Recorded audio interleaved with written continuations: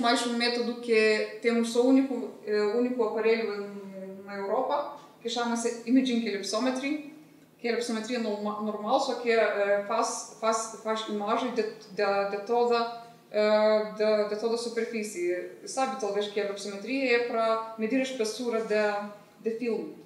Uh, porque filme normalmente, como falei já, é monocamadas, bicamadas, e se, normalmente se trabalhamos com ouro, é, uh, usam-se tiões que até uh, se a partir de 16 é acabar com 20. Quer dizer que é como se essa parte alifática, que até C, uh, C, uh, CH2 20 vezes ou, ou, ou 16 vezes. Portanto, a espessura é 2, 2 nanômetros máximo. E pode ser menor até. E o, a resolução desse método é 1 angstrom. 1 angstrom é 0.1 uh, nanômetro. Portanto, nossos filmes podem, ver perfeitamente e, e fazer até a superfície e até vários, vários nanômetros para ver como, como que é, onde que é a espessura menor, maior, maior, maior, porque nós fazemos também com várias, várias alturas, com vários compostos, uns são mais altos, outros são mais baixos, portanto, um método muito bom por isso. E como já disse, queria mostrar um filme, mas vou ocupar o tempo. O filme dos 10 minutos, e agora que eu começo a falar do meu trabalho, desculpa que eu traduzi o nome primeiro puxa em português um pouquinho diferente, pelo contrário, mas eh, mesmo é sobre os polímeros, polímeros condutores, que eh, são de, de monômeros naturais, eh, só que eu não sei se vocês são muito, conhecem muito bem dos polímeros, não, se não, portanto, puxem um pouquinho mais de introdução. Uh, desculpa, vou falar primeiro da, da história, uh, depois sobre alguns polímeros, mais, mais sobre a classificação e parece aqui que eu tenho só, só muito pouco para dizer sobre o nosso trabalho, mas vai, vai ver que há muito mais slides do que, do que está escrito aqui. E uh, primeiro, da, começando a história, que é, é o primeiro o polímero foi polimerizado aí mesmo quimicamente, quimicamente método da química uh, pelo Shirakawa em 1977, que ele polimerizou a, a acetilena e formou poliacetilena e reparou que é que é o polímero mesmo passa corrente, pode passar corrente pelo esse polímero por causa essa uh, ligação dupla pode saltar de um lugar para o outro e esse huracão pode pode ir de um de um lugar do polímero para o outro e foi mais como semicondutor, não era como mesmo condutor. E ele recebeu, recebeu um Nobel Prize por, por, por esse trabalho. Uh, depois, um, sete anos depois, uh, McDermott uh, polimerizou o, anilina, a anilina também foi polimerizada no início uh, em método de química, agora já faz também de eletroquímica, mas ele também foi condutor muito melhor ele tem várias uh, várias formas, aliás quase todos uh, polímeros menos este têm várias formas e aqui é a forma de emeraldina e tem mais uma forma de leucoemeraldina e mais um que eu nunca, nunca lembro. Uh, depois, um ano, uns anos depois, foi polimerizado o polipirol. Polipirol e polianilina, se vocês alguém trabalha com, com polímeros, sabe que são muito, muito usados até agora, tem muitos artigos, são muito bons e pode, pode usar como eletroquímica. Não sei se toda a gente trabalha aqui com eletroquímica, mas pelo menos sabem. E o que, é que, nós, que é que nós fizemos para que, para que isso é bom? Pode fazer, uh, o polianilina é um muito bom, uh, muito bom composto, bom sensor é, para ácido ascórbico, ácido úrico, é, e foi já havia vários artigos com pílulas de polinilina para, para determinar esses ácidos, mas também nós fizemos um trabalho junto, quando eu trabalhei em Coimbra, uh, fizemos um trabalho com uh, colegas da Inglaterra, de Durham, eles uh, trabalham mesmo com polímeros, mas não tem nada a ver com eletroquímica, eles fazem outras coisas, e construíram os fios de, de uh, polianilina, não sei se consegue ver aqui um fio, uh, diâmetro é 60 uh, microns e, e, não serviu para, para que eles queriam usar, portanto ofereceram ao professor Brett e perguntaram se ele não quer tratar com eletroquímica. Portanto, eu, quando estava lá, eu, eu teve experiência com fios de, fios de carbono, portanto, disse que posso experimentar. E funcionou muito bem, uh, só que não, não, não exploramos muito, assim, fizemos um elétrodo, tem aqui um fio aqui desenhado para ver melhor, um par de 7 milímetros, e como já disse, diâmetro é 60 micrômetros. Enfiamos em plástico para isolar. Aqui tem um pouquinho de epóxi para não entrar, não deixar entrar a solução. E temos assim um, um elétrodo. E descrevemos, fizemos toda a caracterização, funcionou muito bem. É, só que não chegamos a fazer um, um sensor, queríamos fazer um sensor para para ácido ascórbico, só que apareceu qualquer projeto muito urgente e depois nunca, nunca voltamos. Mas talvez agora alguém voltamos a isso.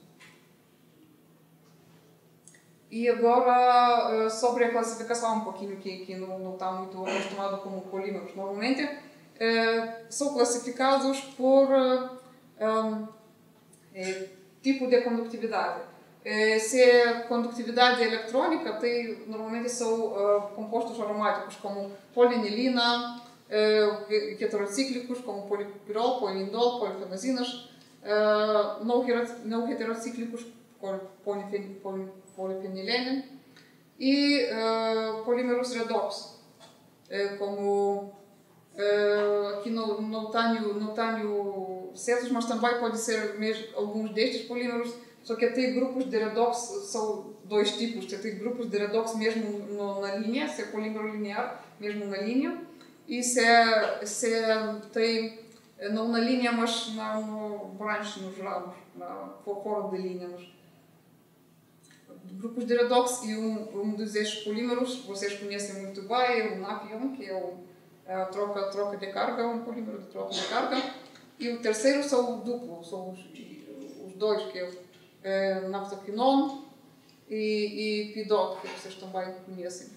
E o quarto que eu pus não, não é, é, é um pouco classificação diferente, não é pela, pela condutividade, mas é por natureza.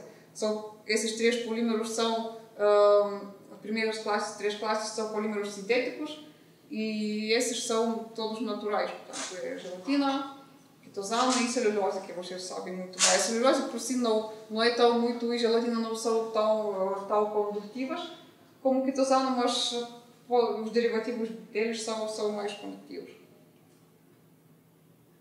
E quando eu trabalhei em Coimbra, nós fizemos aí vários trabalhos com, eh, com eh, as tintas, tintas eh, que são usadas para textilha ou são usadas para para atingir células, distinguir células vivas de células uh, mortas.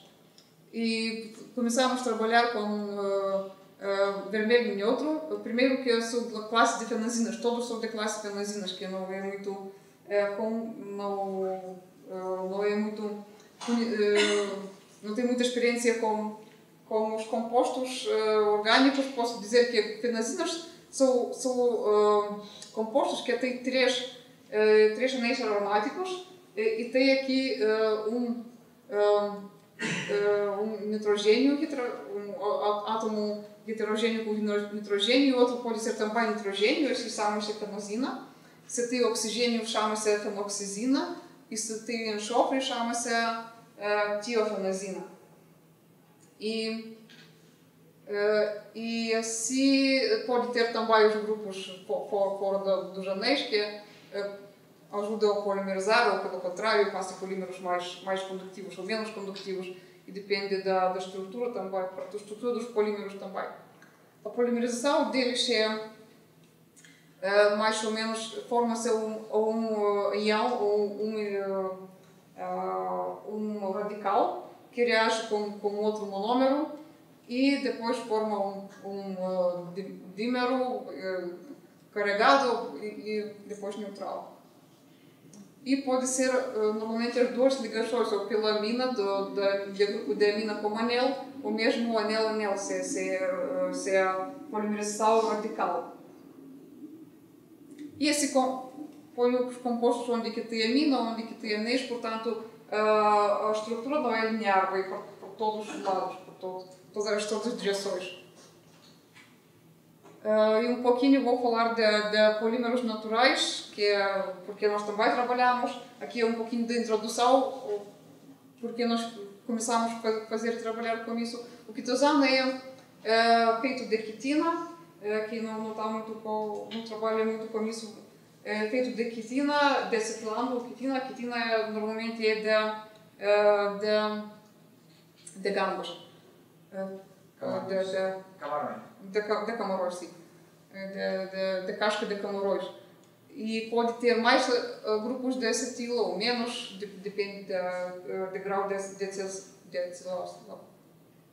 um, e, desculpa, e a celulose, como já disse, também важен шпоресидо е, е, ки е глюкозамина и еси е со глюкоз, полиглюкози, со ке, е, со ке еси е, тај натурија за анимал, еси е вегетал, и е, деривативо ке е асетилцелулози, ou clorcelulose, outra que é mais, mais condutiva.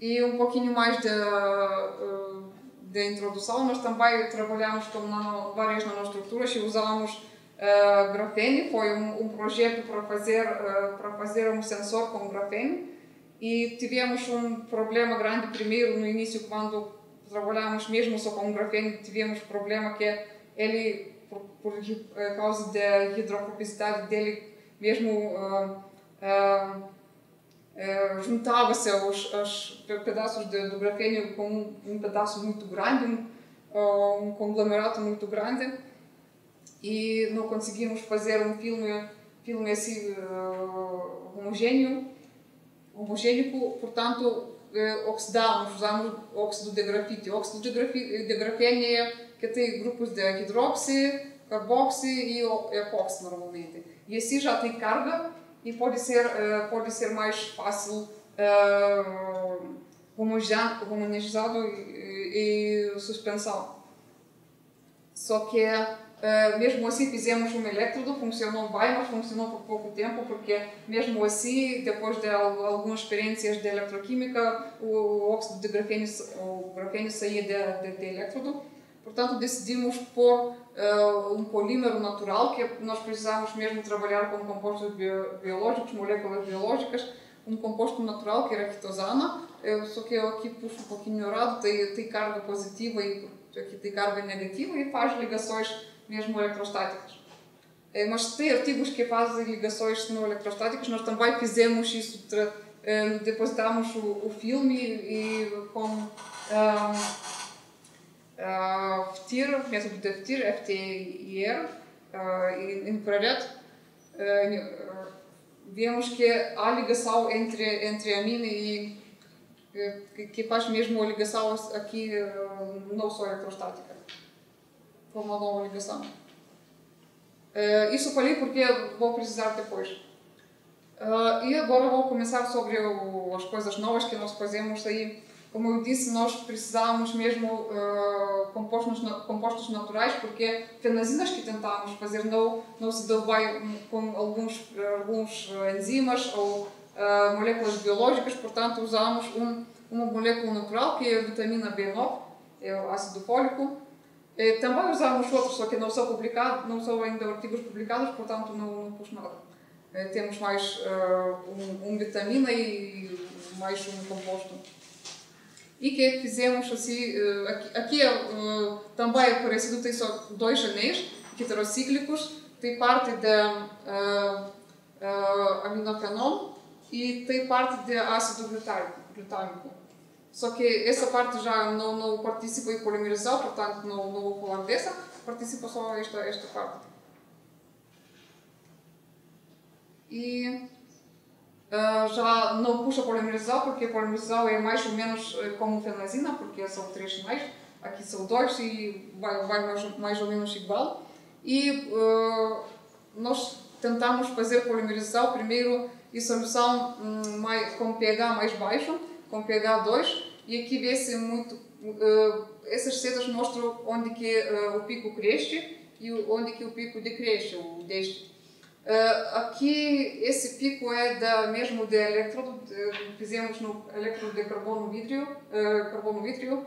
Uh, nessa parte, mesmo no próprio elétrodo, é redução das, da, de de, de, óxido, durante a oxidação ele oxida-se e fica espécies como uh, epóxi, carboxi, carboxi talvez não, epóxi, hidróxi, e aqui é a redução dessas espécies e com a formação do polímero aqui decresce aquela parte, portanto não, não, não, não tem tantos óxidos.